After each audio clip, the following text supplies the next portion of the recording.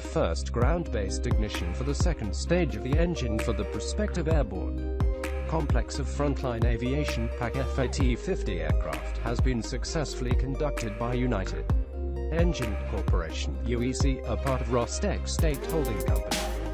The United Engine Corporation UEC has successfully conducted the first ground-based ignition of the second stage of the engine for the prospective airborne complex of frontline aviation PAK-FA T-50 aircraft. The UEC is part of the Rostec State Holding Company gas generators had to be prepared for the testing, along with the demonstrator engine.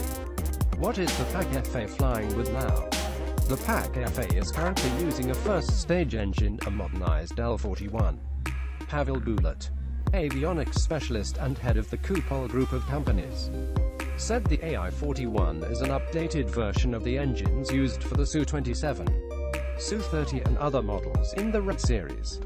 The engine for the T-50 was significantly upgraded from the original models, incorporating the latest control system, compressors, and so on. Nevertheless, it still falls short of the fifth-generation model, and is very noticeable on radar screens, said the expert.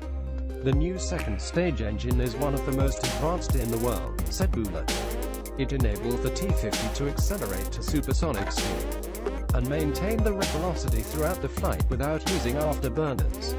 The speed will be as much as Mach 1. 6, about 1,200 miles per hour depending on the terrain over which the flight is taking place. The engine will also significantly improve the stealth properties of the PAK-FA. Thanks to the use of new composite materials. The designers expect to start testing the new engine on fighter jets in 2018 and for the motor to be fully integrated in 2020. In addition to the engine, the radar station also needs to be modified, and engineers need to remove the last deficiencies in the airframe concept, which, among all the aircraft flying today, is the most modern in the world, said the analyst. New fighters' weapons. Colon. 1. 30mm cannon firing unit comprises of the 9A14071K, one of the lightest cannon in its class, which is designed to destroy armored vehicles or armed enemy targets.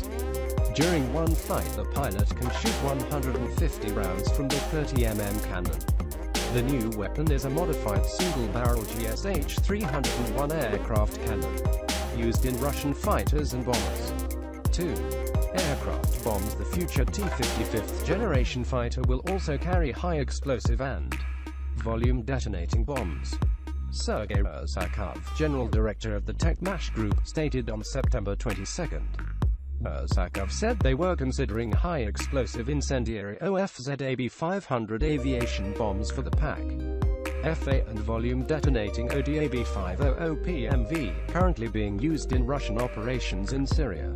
Engineers have already produced a set of warheads for future tests operational principle and the use of bombs in Syria. Colon. According to the rearmament program, Russian armed forces will receive a batch of 12 T-50 fighters before the end of this year.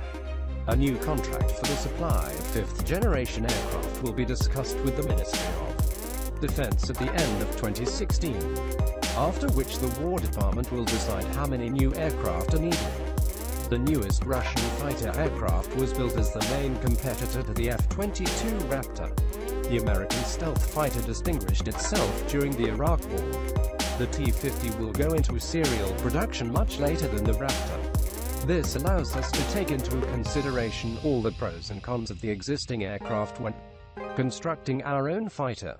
A similar situation existed when we were working on the multi-purpose fourth-generation Su-27 fighter. The prototype of the domestic aircraft came out much later than the American F-16, and took into account the shortcomings of its precursor. As a result, the domestic Sukhoi was able to beat the American in terms of combat characteristics. Quote, Vadim Kozyulin, professor at the Academy of Military Sciences, told RIR. The expert noted that the T-50 would be able to use the full range of existing high-precision air-to-air -air missiles, as well as all precision-guided munitions, is part of its stealth concept. Special missiles for the PAK-FA are being developed, with a square cross-section that will allow more warheads to be carried in hatches during combat. Missions, Cozy added.